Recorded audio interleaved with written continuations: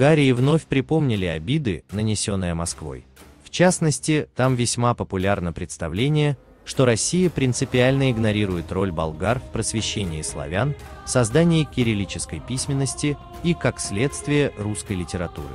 На этот раз поводом послужила выставка, приуроченная ко Дню славянской письменности и культуры и размещенная перед входом в Российский культурно-информационный центр в Софии. Писатель и журналист Огнян Стамбалиев опубликовал гневную статью, в которой возмутился тем, что русские вместо того, чтобы благодарить нас, до сих пор скрывают и даже полностью отрицают роль и значение болгар в крещении и создании их литературы. Качестве особо вопиющего факта автор указал вызов, брошенный Болгарии Владимиром Путиным, якобы публично заявившим, что алфавит братьев Кирилла и Мефодия пришел из Македонии. В данном случае употребление частицы якобы принципиально, поскольку на самом деле российский президент подобного просто не говорил. Ровно три года назад вокруг слов Путина на эту тему действительно разразился громкий скандал, в котором резкими высказываниями, схожими с нынешними словами Стамбалиева, отметилось государственное руководство Болгарии чуть ли не в полном составе. В мае 2017 года Российский лидер, встречаясь с коллегой из Македонии, тогда еще не северной, среди прочего отметил, что письменность пришла к нам как раз с македонской земли. Формулировка абсолютно корректная, о чем заявил и российский МИД, поскольку еще во времена Римской империи регион, где впоследствии родились и работали СВ. Кирилл и Мефодий именовался Македонией. И уж, разумеется, никто в России не пытается отрицать вклад Первого Болгарского царства в дело создания славянской письменности, поскольку это бы противоречило историческим фактам. Более того, именно такую формулировку с отсылкой не к государственной принадлежности, а к историко-географической области, где происходили события, можно считать наиболее политически аккуратной. У региона, ныне поделенного между Грецией, Северной Македонией и Болгарией, Весьма бурная история, которую три страны за последние десятилетия успешно превратили в минное поле, где распределяют между собой события более чем тысячелетней давности.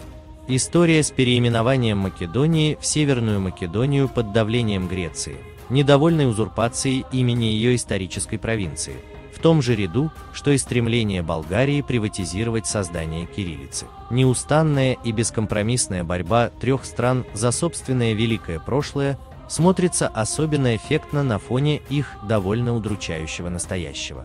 Греция превратилась в символ социально-экономической деградации Южной Европы. Северная Македония отказалась от собственного имени ради вступления в НАТО, только после этого Афины перестали блокировать процесс. Болгария же среди новых членов ЕС стала, пожалуй, самым ярким примером саморазрушения и демонтажа собственной экономики в угоду Брюсселю. И да, все три случая сопровождаются усилением антироссийской политики с тщательным подсчетом нанесенных России обид и травм. Самые разные скандалы от шпионских до религиозных уже почти привычно сотрясают отношения Москвы со странами македонских земель. Обычно это принято списывать на вредоносное влияние Запада и особенно США, которые манипулируют младшими партнерами, настраивая их против Кремля.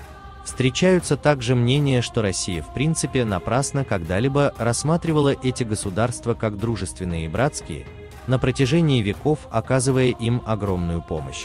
Мол, не делай добра, не получишь зла. Однако есть подозрение, что в нынешнем раздражении Восточной Европы или Греции и России немалую роль играет то, что наша страна служит для них доказательством ошибочности сделанного выбора и немым укором в предательстве не ее, а самих себя. Прошлые социально-экономические и политические успехи Западной Европы породили у многих ее соседей на Востоке и Юго-Востоке своего рода комплекс неполноценности и второсортности. В результате там появился на свет идеологический уродец, в котором твердая прозападная ориентация и сопровождающая ее добровольная униженность ради приобщения к столбовой дороге человечества компенсируются гипертрофированной гордостью нации за великие достижения прошлого, иногда вполне реальные, нередко мифические, а порой просто выдуманные на пустом месте. Последним, например, особенно преуспела Украина. И до определенного момента все было неплохо. Окружающий мир подтверждал правоту сделанного ими не просто политического, а прямо-таки цивилизационного выбора.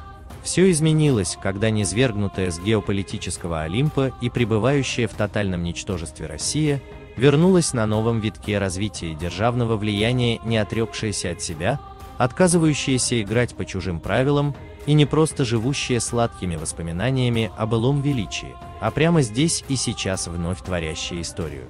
Это причиняет огромную боль множеству стран, с которыми Россию веками связывает культурная и историческая близость, поскольку одним своим существованием дает им понять, что с их стороны все саморазрушения и самоуничижение, деградация и присягание на верность Западу было напрасно. Отсюда такая болезненная и обостренно-политическая реакция соседей на то, что из России видится актуальным в основном для ученых, будь то происхождение славянской письменности для Болгарии или особенности взаимоотношений православных церквей для Греции.